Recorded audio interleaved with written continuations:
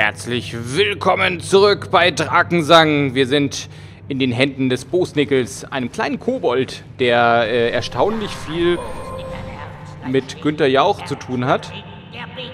Der singt auch wieder schon. Aber ich gehe jetzt einfach mal weiter. Äh, denn wir müssen noch weiter. Drei weitere, wir haben einen Buchstaben gefunden, wir müssen drei weitere Zwerge finden.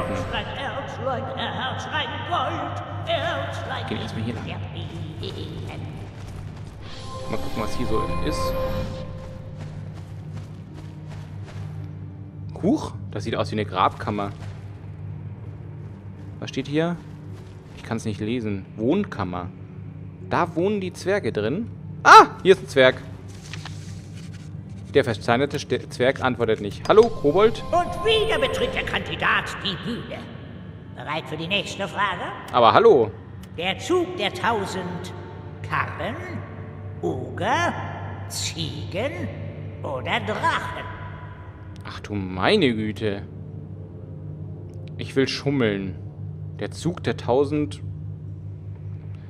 So fit bin ich leider nicht. Wie willst du denn schummeln? Ein paar Worten auszuschließen. Ich würde gerne einen meiner Begleiter fragen. Heißt du von einer der Begleiter? Und wen möchtest du befragen? Wähle weise. Vielleicht wissen sie es ja auch nicht. Dann ist er flutsch, futsch. Hm, na, wen sollen wir nehmen? Ado, Quano oder Feiris?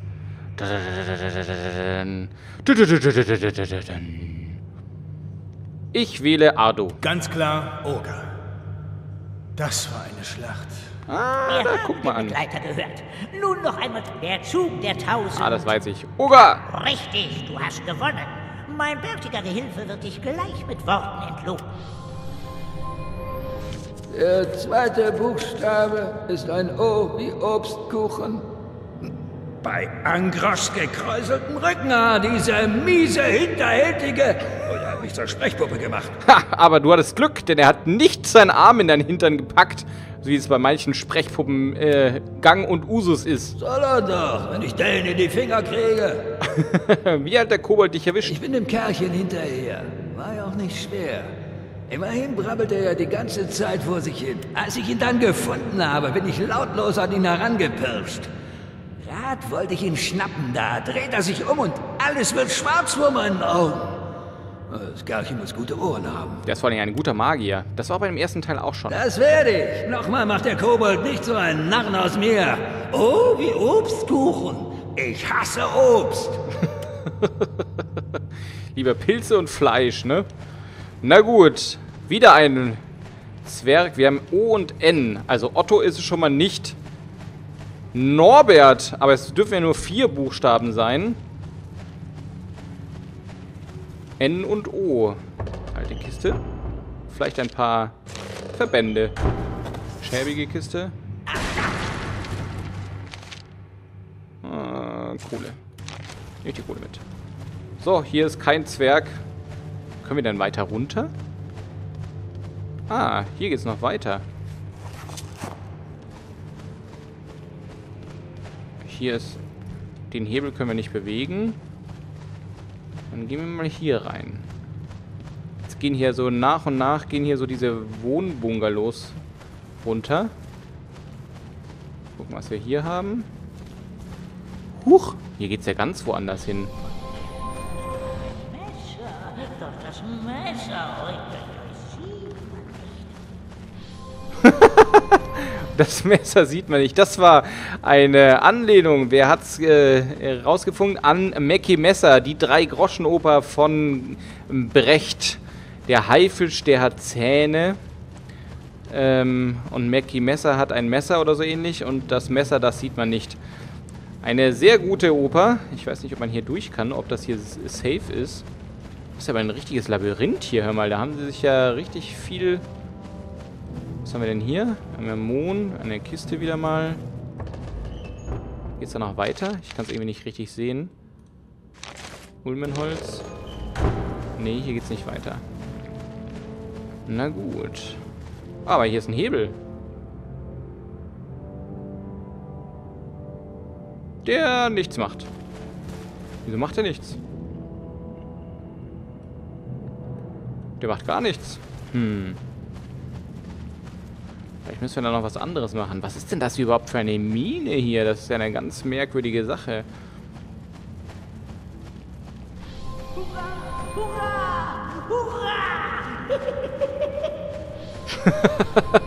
das war eine Anlehnung an den Pumuckel. Das war ja wohl mal eindeutig.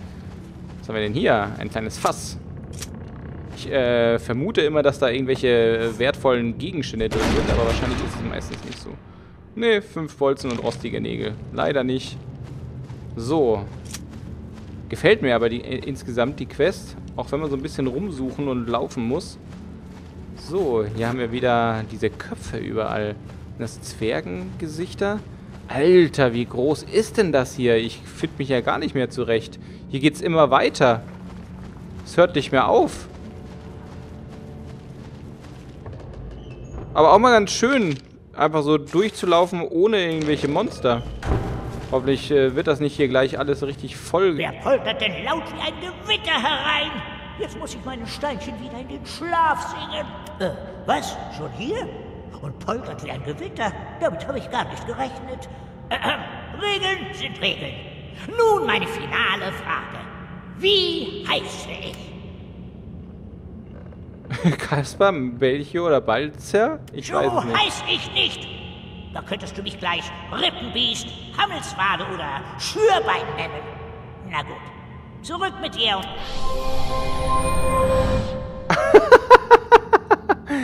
Okay.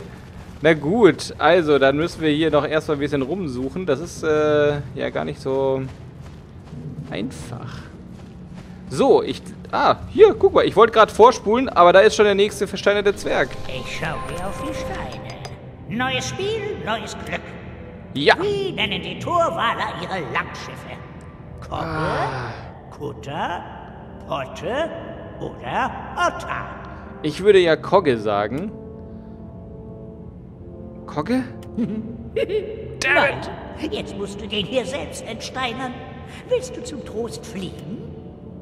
Fliegen? Äh, nein. Dann bekommst du zum Abschied noch was. Knuff. So, dann werden wir jetzt mal versuchen, ob das funktioniert, Ich wenn wir den Gedanken, darauf wie sich legen. der Zwerg fühlen muss. Wir sollten jede Möglichkeit in Betracht ziehen, ihm zu helfen. Yeah! Sergeant Ruppel Der ist... vierte Buchstabe ist ein O wie Ohrensausen. Ohrensausen? Was zum... Wer bist du denn? Freund unseres Clans oder mit dem Wurstnickel im Bunde? Nein, ich habe dich gerade befreit, du Trottel. Wenn du unser Freund bist, dann schnapp dir diesen elenden Eindringling. Los! Dann gehe ich mal auf Kobold. Bevor du gehst, nimm dieses Gold. Für die Koboldentsorgung. Falls du versagst, hole ich es mir von dir mit meiner Picke schon wieder. Vielen Dank. Ja, ja, ja, ja, ja. Und nun los. So, das war der vierte Buchstabe. Das heißt, wir haben äh, den anderen Stein irgendwo verpasst. Den müssen wir also noch suchen. Jetzt ist wieder mal Zeit vorzuspulen, bis wir zu dem Stein sind. Bis gleich, Freunde. Und Musik ab.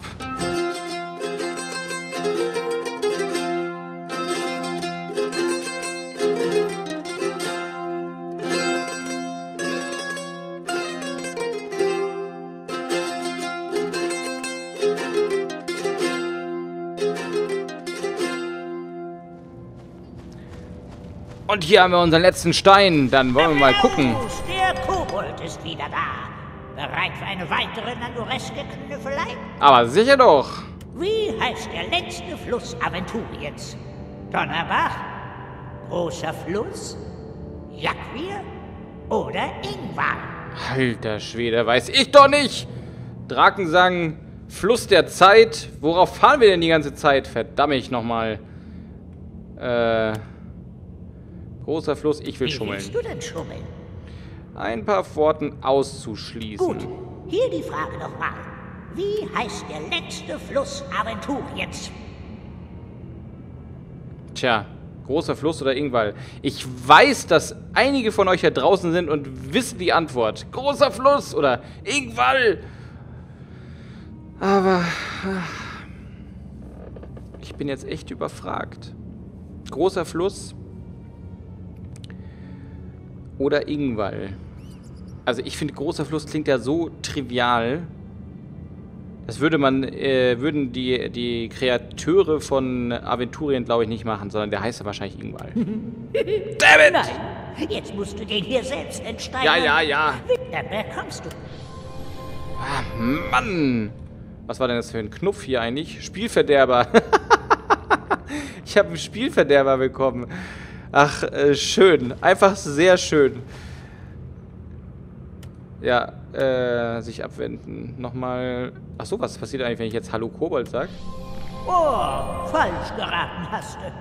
Also musst du die Zwerge selbst zurückverwandeln. Na gut, dann mache ich das mal. Es geht ja ganz einfach. Ich bin ein guter Magier. Nicht so ein guter Rätselmensch. Dritte Buchstabe ist ein G wie Gold zu Nickel. Äh, Was? Wo bin ich? Die Wasserpumpe ist fort.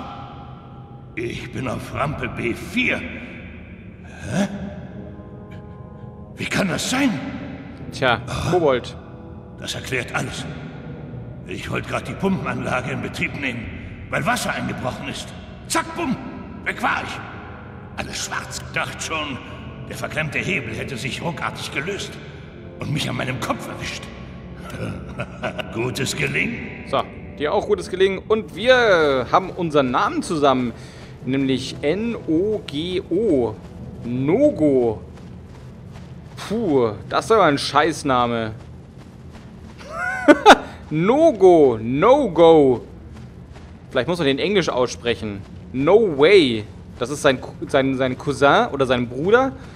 No way und No Go gingen in eine Einbahnstraße. Ein beliebtes äh, Märchen unter Kobolden. Ja. Ich würde mal sagen, wir können jetzt äh, tatsächlich zu ihm hingehen. In diese Halle zurück, in, die wir schon, in der wir schon mal waren. War das hier lang? Ah, ich glaube ja. Und wir, wir werden wieder wie ein Gewitter auf ihn einstürmen. So. Hallo. Wer poltert denn laut wie ein... Und Ja, wieder ja, ja, bist du hier bei mir. Na dann rat zu, wie ich heiße. Heißt du Hinz? Heißt du Kunz? Nein. Heißt du etwa No-Go? Was? Wie? Das kann doch nicht wahr sein. Du hast mich ausgetrickst. Jetzt ist es mir wie meinem fetter Rumpelstilzchen ergangen. Gut. Oh, du mein Bezwinger, befiehl mir. Ey, dieses Spiel ist für mich gemacht. Das kann mir keiner erzählen, dass das Zufälle sind. Erst der, äh, der Rumpo am Kai und jetzt auch noch Rumpelstilzchen. Hör zu, raus mit dir aus der Binge. Heute ist nicht alle Tage. Ich komme wieder, keine Frage. Das war nicht Rumpelstilzchen. Ach, bist du gierig. Schau in die Kiste da hinten. Und sei gewarnt. Giertasch ist der gierigste von allen. Und wo er reinschaut, wird er nur Verderben finden. Das stimmt. Da hast du recht. Du bist mir sehr sympathisch, lieber Bosnickel. Schade, dass unsere Bekanntschaft nur zwei Folgen gedauert Das war hat. eine Aufgabe nach meinem Geschmack. Dieser Nogo ist ein echtes Fexenkind. Das stimmt. Diamantenstaub. Und was ist hier? Da ist doch auch noch irgendwas. Uh. Da würde ich mal eine Stange Dynamit reinwerfen. Uh. Die Regenbogenkiste. Wie geil ist das denn? Aber ich gucke erst noch mal hier rein, in die schäbige Kiste. Die Regenbogenkiste läuft es ja zum Glück nicht mehr davon. Also, ähm, zum Abschluss muss ich sagen, dieses Rätsels oder diese, dieser Episode, herzlichen Dank, liebe Entwickler, ihr habt mir sehr viel Freude bereitet damit. Ein unidentifizierter Schlüssel, ein Felsspalter, Glücksbringer, Alter, Malma Angrosch, zwergische Panzerstiefel, Geilomato. Alter, dieser, äh, der Bosnickel, der wird noch mein bester Freund hier. Finde ich ja super, was der hier alles so gemacht hat. So, können wir denn jetzt eigentlich auch wieder relativ schnell raus? Ja. Das sieht gut Habe aus. dich beobachtet, bist tauglich. Jetzt aber raus mit dir. Unbefugte haben mir nichts verloren. Unbefugt! Ich habe dich gerettet, du Sch Sch du, du Zwerg. Ich wollte jetzt gerade ausfallen werden, aber na gut. Wenn Girtasch dich geschickt hat, dann geh zu ihm und fordere bei ihm seine Dankbarkeit ein. Ich habe einen Zeitplan zu erfüllen. Der ist jetzt schon mächtig verzögert worden. Das bedeutet Sonderschichten. Und Sonderschichten bedeuten schlechte Laune. Los, gehen wir zum Ausgang. Zack, zack! Tja. Ich möchte mich gerne mal umsehen. Ach nee, komm. Wir haben jetzt äh, die tollen Sachen haben wir sowieso bekommen. In der Regenbogenkiste. Du solltest jetzt gleich zur Girtasch gehen. Und keinen Schritt mehr in die Binge. Ist das klar? Einsturzgefahr wegen kürzlichen Koboldbefall. Ach, schöne Sache. Das äh, war ein netter Ausflug. Kann man nicht anders sagen. Und wir haben Sandraya wieder gefunden. So, wir gucken nochmal in diese schäbigen Fässer rein. Die so geheimnisvoll hinter der Eiche stehen. Oder ist das etwa eine Birke? Eine Riesenbirke. Sechs Pfeile. Nicht schlecht. Nochmal fünf Pfeile. Auch nicht schlecht. So, haben wir hier noch eine Kiste oder irgend sowas? Nee, hier ist alles... Alles wie gehabt. So. Ähm, wie sieht's aus mit unserer... Verberge das, berge das Seeleninstrument, erzähle Alari von ihrer Schwester. Ja, das ist natürlich eine harte Quest, glaube ich. Da müssen wir gegen den Wasserdrachen kämpfen. Das wird äh, nicht einfach. Ich werde jetzt mal hier wieder zurück zu Goldzahn reisen. Hey Goldzahn. Das hat verflixt lange gedauert. Habt ihr alles geregelt? Was denn? Es hat nur zwei Folgen gedauert. Also, ich habe einen gewissen Bredo Bento getroffen. Warum soll ich ihm das denn erzählen? Äh, ich habe einen Kobold in eurer Bege angetroffen, den ich erfolgreich vertreiben konnte. Gut, gut. Diese Kobolde sind eine Plage. Ich werde gleich weitere Zwerge anstellen, um die verlorene Zeit aufzuholen. Ja, ja. Ja, aber Fogrim nicht, der gehört zu uns. So, habe ich nun endlich eure Fürsprache. Ja, ja, meinetwegen. Aber nun muss ich mich um die Binge kümmern. Okay. Könnte der Kobold einen Grund für sein Handeln haben? Ähm, sicher. Der Grund ist, dass Kobolde boshafte Rotznasen sind, die nichts als Ärger im Sinn haben. Das glaube ich nicht. Was baut ihr in der Binge eigentlich ab? Hey, was soll das? Ich frage euch auch nicht über eure Privatangelegenheiten aus. Hm, das habe ich anders in Erinnerung. Aber ich habe ein besseres Gedächtnis. Tja, also irgendwas scheint da noch äh, sehr im Grauen zu sein. Der hat doch da bestimmt irgendwas Fieses noch vor. Dieses, äh, die, dieses blaue Glühen, was da hinter den, äh, Ding, hinter diesen, na, Felsen war am Ende. Hast du schon gehört? Wird bestimmt irgendwas Böses sein, was der da noch vorhat. Wir werden jetzt mal zum Soremann gehen und dann vielleicht endlich mal weiterkommen. Äh, vielleicht muss ich da tatsächlich die, die gute Feiris... Wie kann ich dir helfen?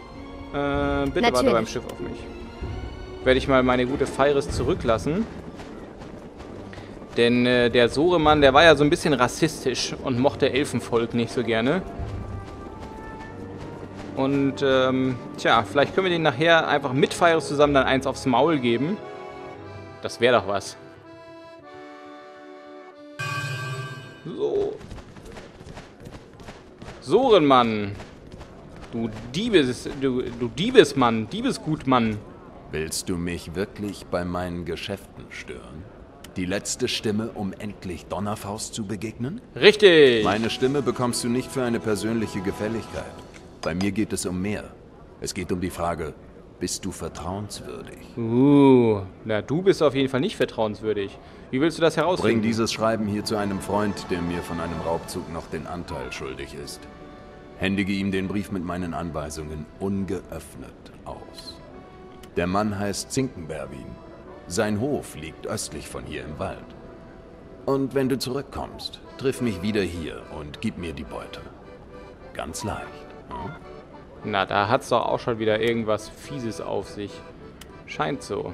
Ich komme wieder. Be back, mein lieber Soremann. Diesen Brief ungeöffnet abgeben. Es ist ja schon eine große Versuchung, muss ich sagen. Wir müssen in den Wald. In welchen Wald eigentlich? Hierhin. Da müssen wir hier runter und darüber und äh, dann da hoch. Das ist doch ganz einfach. So. und alle laufen hier an dieser unüberwindbaren Stelle und komme nicht weiter. So, jetzt brauche ich aber wir wieder. Das scheint viel zu einfach. Ob wir sicherheitshalber nachschauen, was in der Nachricht steht. Tja. Das ist die Sache. Wir brauchen aber diese, diese Fürsprechung. Die brauchen wir ganz dringend. Insofern würde ich das jetzt gerade mal nicht Wie riskieren. kann ich dir helfen? Komm mit, du darfst wieder mit. Der gute Soren-Mann äh, hat uns jetzt hat mit uns gesprochen. Das heißt, wir können wieder mit dir laufen. So, wo müssen wir jetzt hin? Boah, ich bin verwirrt. Karte. Das ist die richtige Richtung. Genau da müssen wir hin. Einmal an Rumpo vorbei, der inzwischen nur noch ein grobschlächtiger Blabberer ist, weil wir ja seinen Ring weggenommen haben.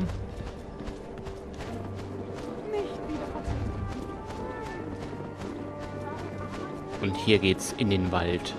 Sind wir da eigentlich schon mal entlang gelaufen? Ich glaube, wir sind in dem anderen Wald entlang gelaufen. Ich weiß nicht, ob wir hier entlang gelaufen sind. So. Und hier hat es doch bestimmt irgendwas Fieses auf sich.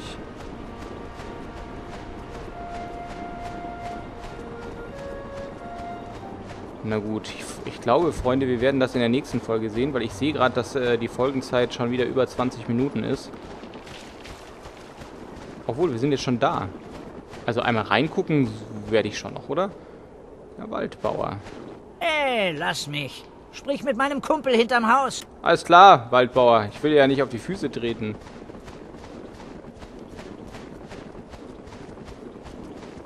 Schönes Hüttchen. Irgendwie, äh, wir haben noch mal über Ferienhäuser geredet, da war das auch hier dabei. Dieses, äh, glaube ich, dieses Hüttchen. So, wie kommen wir jetzt denn da hin? Juhu, hallo. Zinkenberwin, da bist du ja. Und nun? Ja, wo laufen sie denn?